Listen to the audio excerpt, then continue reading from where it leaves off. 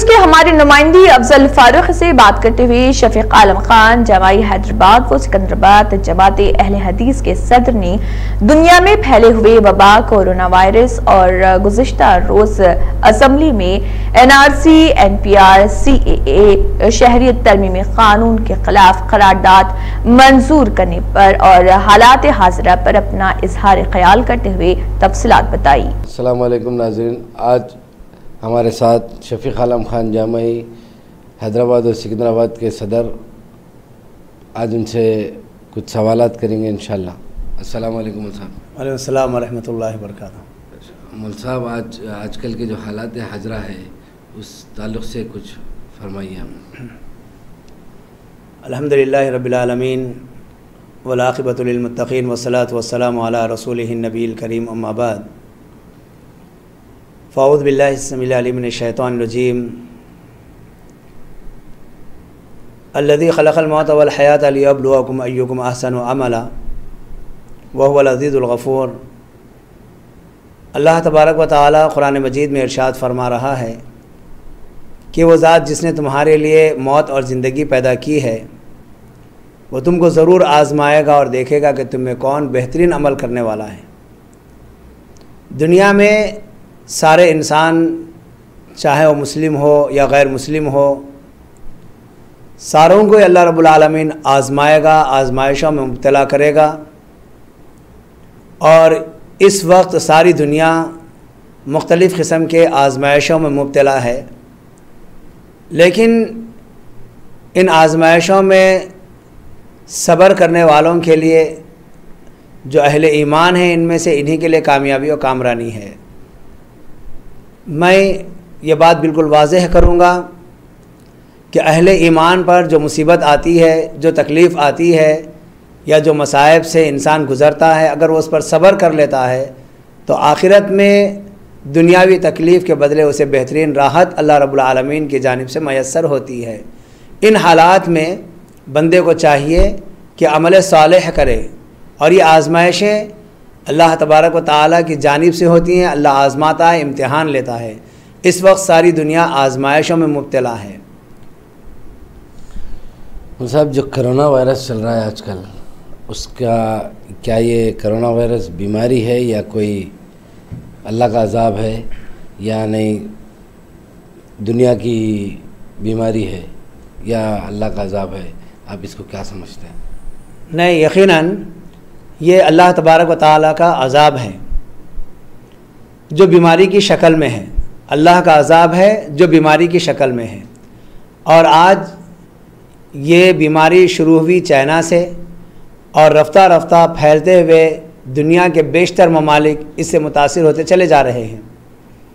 اور یہ بات جان لینی چاہیے کہ جب لوگوں کے اندر برائی پھیل جائے گی، برائی عام ہو جائے گی اور لوگ اسلام سے دور ہو جائیں گے، رب العالمین کی معرفت سے دور ہو جائیں گے، نبی صلی اللہ علیہ وسلم کے طریقے سے دور ہو جائیں گے، تو پھر ایسے حالات ضرور آئیں گے۔ اور اللہ تعالیٰ مختلف قسم کی آزمائشوں میں مبتلا کرے گا۔ ویسے اللہ تبارک و تعالیٰ نے قرآن مجید میں ارشاد فرمایا، ومن آرضا ذکری فعین الح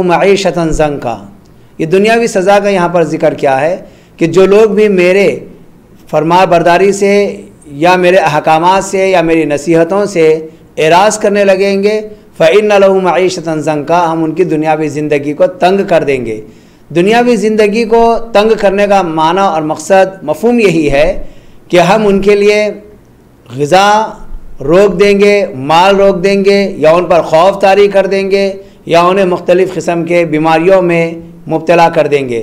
تو آج یہ کرونا وائرس جو بیماری ہے یہ انسان کے اپنے اعمال کا نتیجہ ہے کہ اللہ تبارک و تعالیٰ عذاب کی شکل میں یہ انسانیت کے اوپر پھیلا دیا ہے اور جس سے ساری انسانیت خوف زدہ ہے اور مختلف تدابیر اختیار کر رہی ہیں۔ حقیقت میں اگر ہم دیکھیں، نبی صلی اللہ علیہ وسلم کے فرمان کے مطابق اللہ کے نبی صلی اللہ علیہ وسلم نے ایک مرتبہ واضح طور پر ابن ماجہ کی حدیث میں فرمایا کہ جب کسی قوم کے اندر بے حیائی فحاشی اوریانیت یا زناکاری عام ہو جائے گی، تو ایسے وقت میں اللہ تبارک و تعالیٰ ان کے اندر تعاون کی بیماری کو پیدا کرے گا۔ تعاون پلیگ کی بیماری ہے، جو بہت سارے لوگ اس دور کے نہیں جانتے۔ سابقہ میں بہت مشہور و معروف بیماری تھی، جو بڑی تیزی سے پھیلنے والی بیماری ہے۔ اور اس کے بعد ولاجا التی لم تکن مزد اسلافہم الدین مزو اور ایسی ایسی بیماریاں ان قوموں پر آئیں گی، جو برائیوں میں مبتلا ہوتی ہیں۔ کہ ان کے پچھلے گزرنے والے لوگوں نے ان بیماریوں سے یا ان کے ناموں سے واقفیت بھی حاصل نہیں کی ہوگی اور جاننے والے بھی نہیں ہوں گے۔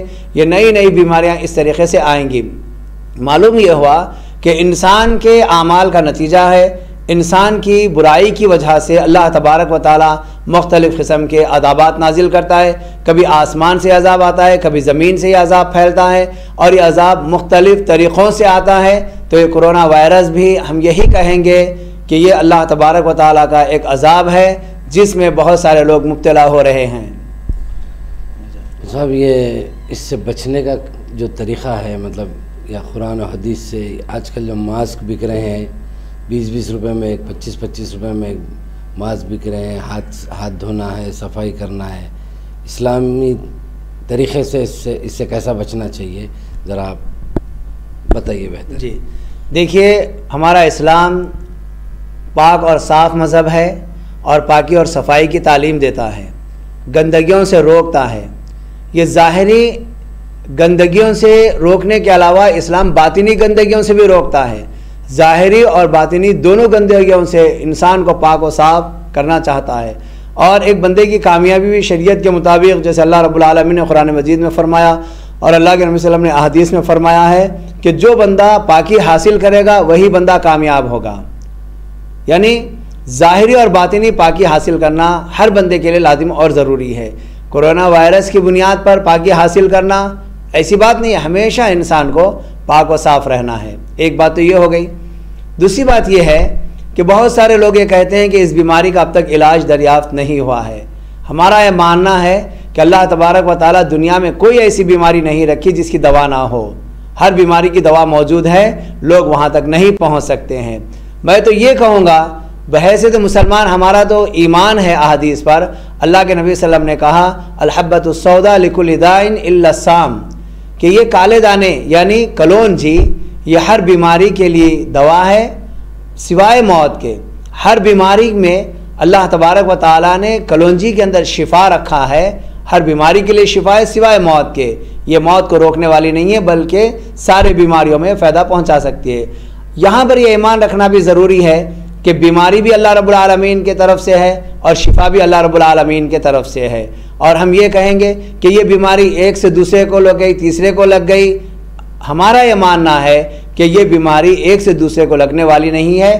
اللہ جس کو چاہتا اس کو بیماری پہنچا دیتا ہے۔ اب اس سے بچنے کا طریقہ یہ ہے کہ پاکی اور صفائی تو حاصل کرنا ہے اور احتیاط کرنا یہ تو لازم چیز ہے۔ ہم یہی کہیں گے کہ آپ جتنی احتیاط کر سکتے ہیں، احتیاط کیجیے۔ لیکن ساتھ میں اس بات کو مانتے ہوئے چلیے کہ بیماری اللہ رب العالمین کے طرف سے آئی ہے اور اس کا خاتمہ بھی اللہ رب العالمین ہی کرنے والا ہے۔ تو اس کے لیے آپ اللہ کی طرف رجوع ہو جائیے۔ اللہ رب العالمین کے سامنے توبہ، گریا وزاری کیجیے۔ اور اس مسائل سے، ان مصائب سے، ان ابتلاؤں سے بچنے کے لیے اللہ کے اللہ کے راہ میں صدقہ و خیرات کیجیے۔ جب آپ اللہ کے بارگاہ میں آئیں گے، اس کے سامنے آجزی و انکساری کر کے اس رب کو خوش کر دیں گے اور اللہ رب العالمین آپ کے اس عمل سے راضی ہو جائے گا۔ تو اس رب کے لیے کوئی مشکل نہیں ہے کہ بیماری کو وقت واحد میں ختم کر دے۔ ایک ہی طریقہ دنیا کے اندر ہماری نظر میں یہ ہے کہ اللہ کی طرف رجوع ہوں، توبہ و استغفار کریں، غلطیوں سے بچیں، معافی مانگیں۔ اور پھر اللہ کی رحمت کی امید رکھیں۔ یقیناً اللہ رب العالمین بڑی رحمتوں والا اور بڑی برکتوں والا ہے۔ وہ ضرور ہمارے اوپر انعام فرمائے گا اور ان مسائل سے، مشکلات سے ہمیں محفوظ بھی رکھے گا انشاءاللہ۔ مصحب جو آج کے جو N P R, N R C C double A کے اوپر جو احتجاجات سارے ہندوستان میں ہو رہے ہیں، اس درمیان میں ہمارے سی ایم کے سی آر صاحب جو کل کا جو ڈیسیشن آیا ہے جو روک نے، روک لگائیں گے یہاں تلنگانہ حکومت میں تلنگانہ میں اس سے اس کا کیا آپ اس کے بارے میں کیا کہنا چاہ رہے ہیں؟ دیکھیے، کل اسمبلی میں، تلنگانہ اسمبلی میں این پی آر کے تعلق سے جو پاس کیا گیا ہے، ہم اس کا خیر مقدم کرتے ہیں۔ تلنگانہ حکومت کو مبارکباد پیش کرتے ہیں۔ خصوصاً کے سی آر صاحب کو اور ان کی پوری کابینہ کو اور ان کے ساتھ اتحاد کرنے والی تمام جماعتوں کو یا پھر ہم ان تمام لوگوں کو مبارکباد پیش کرتے ہیں جو سی اے اے اور این پی آر کے تعلق سے آگے بڑھے اور اس کی سختی کے ساتھ مخالفت کیے۔ یہ ایک ایسا قانون تھا جس سے تمام طبقات متاثر ہو رہے تھے اور اس کا بہت بڑا نقصان عام انسانوں پر ہو رہا تھا، بلکہ اس کا نقصان ہمارے اس ملک میں بسنے والے ہر انسان کا ہو رہا تھا، اگر غور کر کے دیکھیں۔ اور یہ چیز جس کی وجہ سے ابھی تک کافی نقصان ہم کو اٹھانا پڑا۔ ایک تو یہ کہ موجودہ جو سنٹرل حکومت ہے، اس سے آہستہ آہستہ لوگوں کا اعتماد ختم ہونے لگا۔ اس، ان مسائل کی وجہ سے ملک کی معیشت کافی کمزور ہوتی چلی جا رہی ہے اور ان مسائل کی وجہ سے ملک کا وقار غیروں کی نظر میں کم ہوتا جا رہا ہے، گرتا جا رہا ہے۔ ایسے بہت سارے مسائل ہیں۔ لوگوں میں اتحاد کا فقدان پیدا ہو گیا۔ اختلاف اور انتشار کے راہ پر چلنے لگے۔ اور اس کو جیسے ہم نے دہلی فسادات میں دیکھ لیا، دیگر مقامات پر بھی دیکھ لیا۔ ہندو مسلم کا مسئلہ اس کو بنا دیا گیا تھا۔ جبکہ مسئلہ ایسا نہیں ہے، حقیقت بات تو یہ ہے کہ مسلمانوں سے زیادہ اس میں نقصان غیر مسلموں کا تھا، جیسا کہ آسام کی رپورٹ ہمارے سامنے موجود ہے۔ پھر ان حالات میں تلنگانہ حکومت نے بڑی جرات مندی کے ساتھ، دلیری کے ساتھ اس کی مخالفت میں ایک رول پاس کیا، قابل مبارکباد ہیں۔ اور وہ ساری تنظیمیں جنہوں نے اب تک کے محنت کی، رات دن ایک کر دیا لوگوں کو اکٹھا کرنے میں اور اس کالے قانون کے واپس لینے میں ان سارے لوگوں کی کوششوں کا نتیجہ ہے۔ چاہے وہ سیاسی جماعتیں ہوں، مذہبی جماعتیں ہوں، ملی جماعتیں ہوں، علماء اکرام ہوں یا مذہبی ساری جماعتیں ہوں جنہوں نے بھی اس مسئلے میں آگے بڑھا اور اس کالے کالے قانون کے خلاف آوازیں اٹھائی اور ہماری وہ مائیں بہنیں جنہوں نے نہ دن کا وقت دیکھا، نہ رات کا وقت دیکھا، ہر موقع پر اپنے حق کو منوانے کے لیے اپنے گھروں سے نکلی اور اپنی آواز کو بلند کیا، تکالیف اور مسائل کو جھیلے۔ ان سب کو میں مبارکباد پیش کرتا ہوں۔ آپ تمام کی کوششوں سے حکومت ایک قدم پیچھے آئی ہے۔ اور ساتھ ہی میں حکومت سے یہ مطالبہ کروں گا کہ آپ نے جو قدم اٹھایا، بہت اچھا قدم اٹھایا ہے۔ ایک قدم اور آگے بڑھیں۔ اور تلنگانہ میں اپریل کی فسٹ تاریخ سے جو این پی آر ہونے والا ہے، آپ اس این پی آر کو ختم کریں۔ کیونکہ اطلاعات کے مطابق مختلف مقامات پر یا مختلف ڈسٹرکوں کے اندر یہ تیاریاں جاری ہیں۔ کہ یکم اپریل سے این پی آر ہوگا۔ آپ اس کو ختم کیجیے۔ اس کو کچھ وقت کے لیے معطل کر دیجیے، ملتوی کر دیجیے۔ اور دو ہزار دس میں یا اس سے پہلے جس طریقے سے سینسس ہوا تھا، اس انداز سے کیجیے۔ اور نئے جو سوالات اس میں ایڈ کیے گئے ہیں، ان سوالات کو حذف کیجیے۔ اس کے بعد انشاءاللہ ہم آپ کا ساتھ دینے کے لیے تیار ہیں۔ اگر یہی حالت رہے گی، یکم اپریل سے پھر این پی آر کا کام شروع ہوگا کیونکہ یہ این پی آر در حقیقت یہ این آر سی کی ہی ایک شاخ ہے، اسی کا ایک قدم ہے۔ اس لیے ہم اس کی سختی سے مخالفت کرتے ہیں کہ آپ یکم اپریل سے این پی آر کا جو مسئلہ ہے، اس کو ختم کریں اور ایک جیو پاس کریں اور واضح طور پر اعلان کریں۔ اب تک آپ نے جو کیا ہے، ہم اس پر آپ کو مبارکباد پیش کرتے ہیں۔ ابھی آپ عوام کو اس سے کیا میسیج پہنچانا چاہ رہے ہیں؟ جو تلنگانہ کی عوام ہے، جو حیدرآباد ڈسٹرکٹ کی عوام ہے۔ اور ایک دوسری بات یہ ہے کہ مصحف نظام آباد میں ایک شاہین باغ ہے۔ اس کو، ان کو کیا میسیج دینا چاہ رہے ہیں آپ؟ دیکھیے، سارے ہندوستان کی عوام کے سامنے ہمارا یہی پیغام ہے کہ آپ جس مقصد کے تحت آگے بڑھیں، یہ آپ کا اپنا حق ہے۔ اس میں آپ کو کوئی روک نہیں سکتا۔ آپ اپنا حق منوانے کے لیے آگے بڑھے ہیں، آپ کو آگے بڑھنا ہے۔ آپ لوگوں کی کوششیں تھیں کہ آپ نے اپنے آپ کو اپنے گھروں سے نکالا اور اپنا حق منوانے کے لیے رات دن آپ شاہین باغ جیسے کئی باغ قائم کیے اور وہاں پر جم کر بیٹھ گئے۔ اس سے ہماری خواتین، چاہے وہ مسلم ہو یا غیر مسلم ہو، ان کا عزم، ان کی استقامت ان کا استقلال، مصائب پر ان کا صبر قابل تعریف ہے۔ میں آپ تمام کو یہی پیغام دوں گا کہ ہمارا جو جمہوری حق ہے، ہم ڈٹ کر، لڑ کر حاصل کریں، لیکن کوئی ایسا کام نہ کریں جس سے ہماری شبیہ متاثر ہوتی ہو، یا پھر ہم جذبات میں کوئی ایسا کام نہ کریں جس سے ہمارے اوپر بدنامی کا داغ لگتا ہو۔ کام وہ ضرور کریں جس سے ہمیں فائدہ ہونے والا ہے۔ اور ایک پیغام میں آپ کو یہ دینا چاہوں گا کہ آپ ہر حالت میں اللہ تبارک و تعالیٰ کے طرف رجوع ہوئیے، اللہ تبارک و تعالیٰ کے سامنے آئیے گڑ گڑائیے توبہ و استغفار طلب کیجیے یقیناً یہ بے چینی کا موقع ہے، بے قراری کا موقع ہے۔ میں ساری عوام کو یہی پیغام دیتا ہوں، جو پیغام قرآن کریم نے دیا ہے۔ ام یجیب المستر اذا دعاہ ویکشف السو ویجعلکم خلفاء الارض الہ مع اللہ۔ خلیل ما تذکرون۔ اللہ تبارک و تعالی سورہ نمل میں فرما رہا ہے، کون ہے جو بے قرار کی بے قراری کو سنے اور اس سے اس کی تکلیف کو دور کر دے اور پھر زمین میں خلافت عطا کرے۔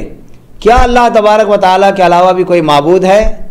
بہت تھوڑے لوگ ہیں جو نصیحت حاصل کرتے ہیں۔ تو معلوم یہ ہوا کہ ایک بے قرار بندے کی بے قراری کو سننے والی ذات اللہ تبارک و تعالیٰ کی ذات ہے۔